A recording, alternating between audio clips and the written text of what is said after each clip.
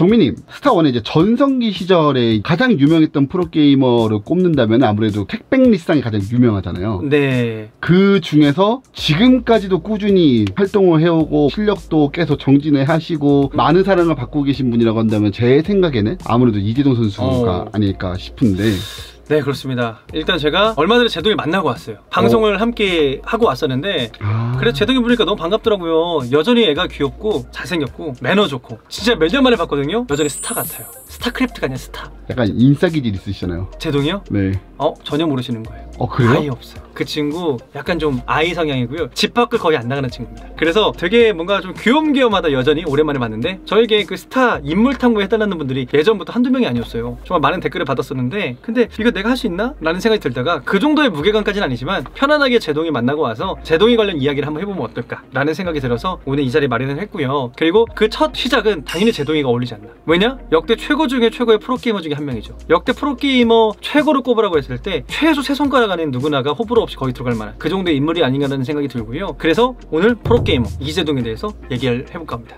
시청자 여러분 반갑습니다. 저는 진행을 맡은 김정민이고요.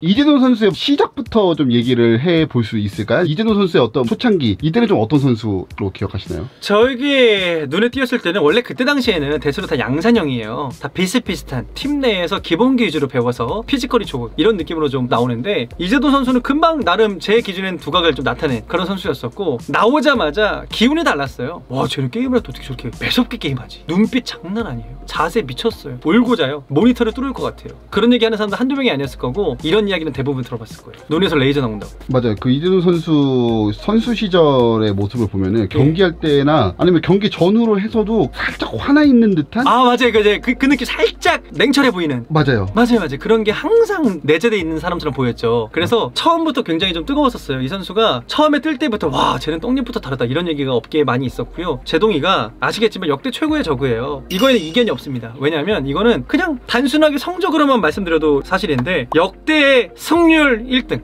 역대 다승도 저그 중에 당연히 1등이고요. 역대 다승이 1등인 것도 역대 최고의 저그인데 승률까지 1등이면 말해 보여요, 그렇죠? 저그 최다 캐스파 랭킹 1위, 역대 최장 기간 종족별 캐스파 랭킹 1위. 그러니까 적으로 43개월 동안 적은 내에서 1등 했다는 얘기예요. 3년 몇 개월을 한 번도 경쟁자에게 준 적이 없다는 얘기죠. 그리고 위너스리그 역대 최다 올킬. 위너스리그를 하면 내가 이기면 계속 하는 거죠. 혼자 출근해서 상대방을 올퇴근시키고 팀원들 놀게 하고 연봉 올려주고. 그리고 또 소년가장이죠. 팀 내에서 이 선수가 다 해버리는 거예요. 오타니 같은 거지. 뭐 혼자서 출루하고 공 던지고 치고 하는 그런 선수였었고 양대 개인 리그 역대 최고 승률을 보여준 적이 있다고 합니다. 92.9%.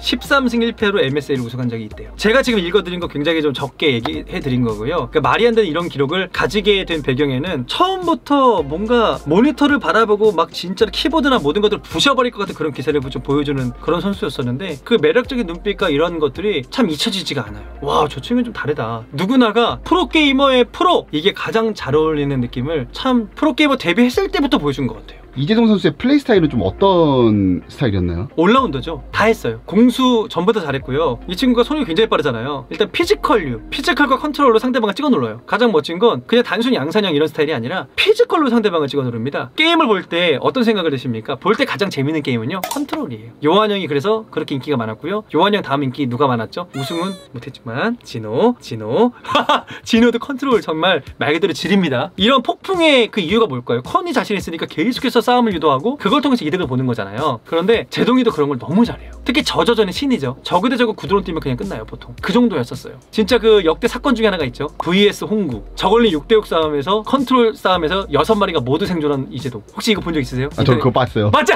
이거 인터넷 짤! 제가 그 경기를 못 보고 그 짤만 봤는데 그 상대 선수가 홍구님인지도 몰랐고 저글링 싸우는 그 장면만 잘려서 캡처된 거 봤었거든요. 예. 아 그래서 컨이 말이 안 됐어요. 이미 서로가 이제 피지컬이 한계까지 왔다고 생각이 드는 상황까지 왔었을 때 서로 간에 저글링 싸움을 해도요. 제동이가 지는 경기는 거의 없었죠. 그냥 구발만 뛰어도요. 웬만하면 다 이겨요. 그게 막혀도 상관없어요. 막히더라도 빌드를 져도 이길 것 같아요. 그리고 이겨요. 그런 괴물 중에 괴물이었었어요. 플레이 스타일 자체가 아주 공격적이었어요. 그런데 거기에 수비적인 것 또한 잘하냐 못하냐 잘하죠. 수비를 못하면 우승은 못해요. 프로토스전과 테란전에서 수비형을 못하는 사람이 우승을 한다? 이거 말도 안 되는 얘기예요. 아마 제가 알기로는 뭐 스타리그나 이런 쪽 관련돼서 MSL 스타리그에서 결승 최다 진출자 아닌가요? 아마도 아마 맞을 건데 그 정도로 대단한 기량 보여줬었고 골든 마우스까지 차지했었고 그러니까 만능인 거죠. 근데 그 안에 패기 또 빌드 선택도 꽤나 잘했어요. 결승에서 4드론도 뛴 적 있어요. 상대가 명훈이. 아 정명훈 선수를 사드론 예. 그래서 그런 얘기도 있었잖아요. 이제동 스코어. 이제동 스코어가 뭐냐? 1세트 지고 2, 3, 4세트 이기기.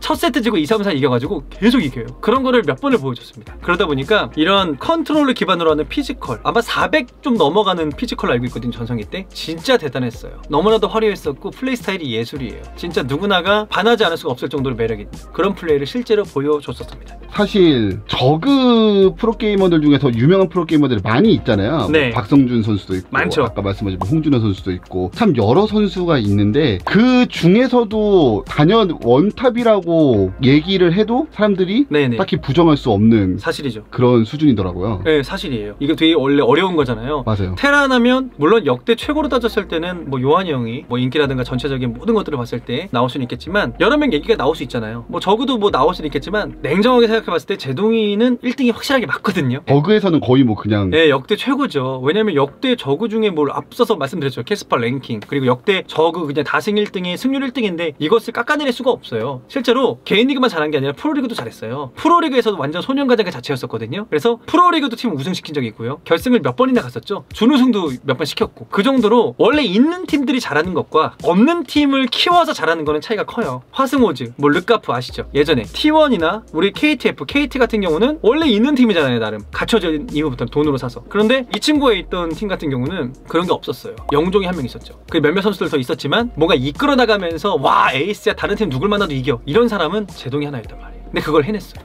개인 리그, 양대 리그 결승 가장 많이 갔죠. 프로 리그도 막 결승 올렸죠. 게다가 제가 얼마 전에 물어봤을 때 제가 직접 인터뷰 드린 건 누구 보고 게임 배웠냐에 게임을 배우기보다도 그냥 본인이 어느 정도 최대한 응용은 나름 한 게 당연히 많이 있겠지만 스스로가 좀 체화하면서 스스로를 발전시켜 나간 스타일이더라고요. 그래서 옛날에 남들 안 하던 거 두 부대 뮤탈 아시죠? 두 부대 뮤탈을 뮤탈 한 부대 컨 우리 늙은이들은 못해요. 제동이도 지금은 못할 거예요. 아 제동아 너도 이제 나이가 같지 않으니까. 그런데 뮤탈 두 부대 컨 하면서 상대방 털어버리는 백두대간 플레이 그리고 블루스톰 제 기억이 아마 맞을 건데 블루 스톰과 백두대간 이런 두 개의 2인용 map에서 보여줬었던 그런 모습들 정말 이건 말이 안 될 정도였었고요. 그리고 scourge도 굉장히 잘 썼어요. scourge 잘 쓰는 게 제가 볼 때 가장 어렵거든요. 그런데 테란전에서 후반에도 항상 그렇게 전면전을 하면서도 측면에 scourge들이 날아오는 dropship들을 격추를 참 잘 시키더라고요. 사실 적의 최고난도가 이거거든요. 디파일러 다 쓰면서 싸울 거 다 싸우고 dropship 오는 거 저글링 잘 따라다니고 뭐 scourge로 dropship 격추 이런 건데 물론 그때에 비해서 지금의 이런 게임 운영이 훨씬 더 많이 개념적으로 발전하고 훨씬 더 진보한 이런 느낌은 fact기는 한데 어쨌든 그때의 physical로 와 지금에 온다면 얼마나 더 멋있겠어요. 그때는 정말이지 본인만의 스타일 어떻게 보면 박성준류에다가 수비형까지 함께 더해준 이런 느낌도 좀 보여준 것 같아요. 왜냐하면 막 히드라 올인 전략도 테란전에서 사용한 적이 있고 중간중간에 승부 잘 보잖아요. 그런 점이 좀 매력적으로 느껴졌었습니다.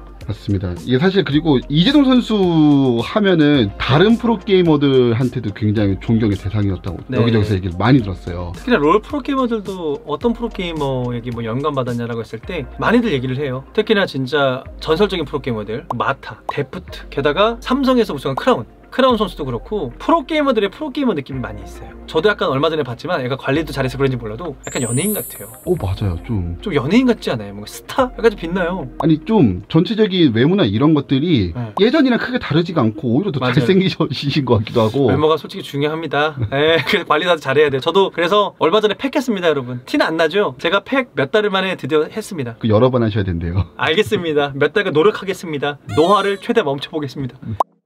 여전히 그 어떤 잡음도 없이 많은 그 시청자분들이 사랑을 받고 있잖아요. 더더욱 지금에 와서 더 회자가 되는 것이 아닌가라는 생각이 들고요. 이 친구가 인간미가 또 있어요. 뭔가 무결점 같지만 방송에서 약간 재밌는 경기도 많이 했어요. 근데 본인은 그 당시에는 좀 수치스러웠대요. 근데 그 경기 제가 중요했거든요. 왜냐면 동맥경화라는 말이 그때 제동이 경기 때문에 와버렸어요. 이제 동맥경화라고 이게 지금 봐서 좀 웃겨요. 제동이가 옛날에 7시였던 걸로 기억을 하는데 본인 입구를 스스로가 막아놔가지고 병력으로 히드라 몇십 마리인가가 밖에 못 나갔어요. 근데 앞에 있는 병력으로 어찌어찌 컨트롤로 싸워서 비등비등 싸우는 거예요. 그게 더 웃기는 거예요. 뒤에 병력이 두세 부대인가 가둬놓은 상태에서 남아있는 병력으로 싸워서 막 이기고 지고 하고 있는 거예요. 그래서 그때 중계하면서 그 길이 열릴 때 우리가 와 했던 그런 기억이 있어요. 드디어 길이 열렸습니다! 막 이런 흐름 있죠. 생각을 해보십시오. 그럼요. 들었어요. 들었어요. 들었어요.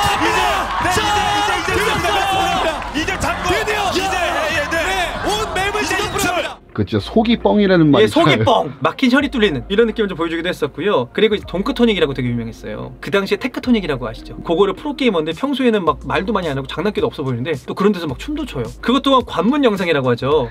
여러 개 있잖아요. 그 관문 예, 영상이 이제 그쵸, 저도- 콩댄스, 벼보춤. 맞아요. 저도 노래 불러서 그 중에서 top 5 안에 들어간대요. 물론 top 1은 못 이겨요. 벼보춤은 넘사예요. 그거는 그냥 영 tier 인정하시죠? 쉽지 않더라고요. 아 못 봐요 못 봐요 심지어 그 윤열이의 그 배운 척 열심히 하- 한 상황에서의 그 표정. 아 그거 말리기 어려웠었습니다. 그래서 그런 것들을 해주는 것도 상당히 좀, 좀 좋았었고요. 은근히 이런 중간중간에 나오는 인간미가 있고요. 워낙 또 외모가 곱상하잖아요 솔직히 그러니까 어떻게 인기가 없어요. 여자들이 그렇게 좋아하죠. 남자들도 잘생긴 남자 좋아하잖아요. 진짜 그런 게 좀 인기가 많고 인간미까지 여러 가지 더해주면서 사실 불호가 있기가 좀 어려워. 이런 좀 사람이라는 좀 생각이 들었었고 또 아시는 분들 아시겠지만 스타트도 되게 잘했어요. 아 맞아요. 사실 난다 긴다 하는 스타1 프로게이머 분들도 스타2 전향하고 나서는 딱히 두각을 드러낸 분이 많이 없었고 제 기억으로는 그나마 뭐 정명훈 선수 정도라고 해야 되나? 하지만 그것도 아마 이재동 선수에 비해서는 그렇게 막 제동이가 더 좋았죠 성적이. 아마 네. 그럴 거예요. 왜냐면 제동이가 승률이 약 어, 제가 대충 봤을 때 한 850점 되네요. 많이 했죠? 승률이 약 58% 잘하는 실력을 좀 보여줬었고요. 특히 저그전 굉장히 여기서 강했고 테란전은 50 초반 프로토스전도 나쁘지 않은 그런 모습 보여줬었는데 스타 two에서는 제가 알기로는 준우승을 굉장히 많이 한 걸로 알고 있어요. 여기서는 콩이었어요 아마 오연준 얘기가 있는데 이거는 fact check가 필요합니다. 오연준은 아무나 못하는 거 아시죠? 네 맞아요. 2연준도 어려운 거예요 결승 가는 거. 3연준 어렵죠. 5연준 했다라고 되어 있기는 한데 요거는 fact check 필요하고 제가 알기로는 어쨌든 준우승은 많이 했다. 그 이재동 선수가 사실 그때는 이런 선수들의 사이클로 봤을 때는 전성기라고 하기- 하기는 원래는 어려웠어야 할 시기인데 그럼에도 불구하고 스타2에서는 꽤 나름 분전을 맞아요. 하셨던 걸로 기억을 해요. 그래서 인기가 진짜 많았고요. 우리나라에서만 인기가 많았던 게 아니라 글로벌 팬도 많았어요. 그 트위치에서 예전에 스타 two 방송할 때 시청자들이 몰릴 정도로 인기가 정말 좀 많았었고요. 캐릭터 자체를 동서양 구분하지 않고 인기가 좀 많았었습니다. 그래서 JD 그렇죠 JD 스타 two에서는 JD라고 부르죠 모두가. 보통 자기 이름 닉네임을 하는 게 소위 최고의 간지 멋이죠. 근데 저도 저도 모르게 가끔 JD JD 이렇게 부르게 되더라고요. 참 얘기하다 보니까 많은 생각이 들긴 하네요. 그 전에 있어도 수많은 저그들 있잖아요. 수많은 저그들이 있는데 오늘 제동이야 솔직히 뭐 약간 웃음 요소라고 할 게 너무 적은 친구예요. 왜냐면 너무 잘했으니까 그리고 대테란전. 저가 원래 테란하기 좀 어렵잖아요. 그런데 양대 리그에서 모두 테란을 잡고 우승한 적이 있었다 라는 것도 정말 최초죠 이것도. 이런 것도 정말 너무나도 대단한 그런 기록이 아닌가 라는 생각이 들고요. 다전제에서의 그 모습 그 눈매 그 게임 안에 빠져서 상대방을 때려잡는 그 폭군. 그래서 지금도 아시겠지만 역시 폭군. 게임 플레이 조금만 잘하면 역시 폭군들이 계속 나오거든요. 근데 제동이 이제 얼마 전에 봤을 때 많이 늙었어요. 겉모습은 그대로인데 손도 그렇고 그런 얘기 하더라고요. 좀 쉽지 않다고. 하지만 앞으로 다시 한번 결승전 가보고 싶다라고 얘기하는 거 보니까 여전히 멋있구나 라는 생각이 좀 들긴 했습니다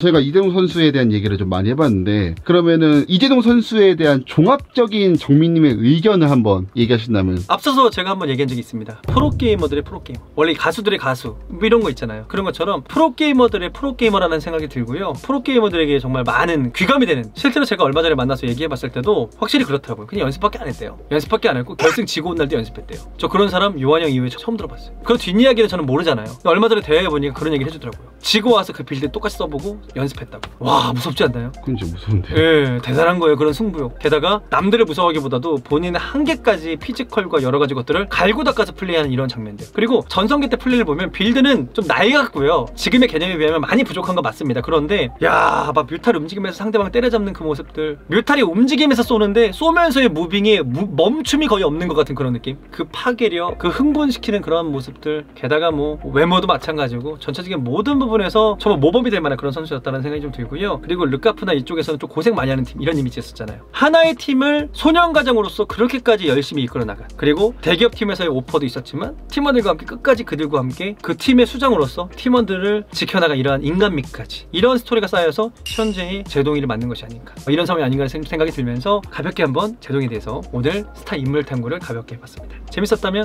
의견 남겨주시고요. 추후에도 여러 가지 많은 도전 해보도록 하겠습니다. 고맙습니다. 아 너무 아저씨 같았네 이거.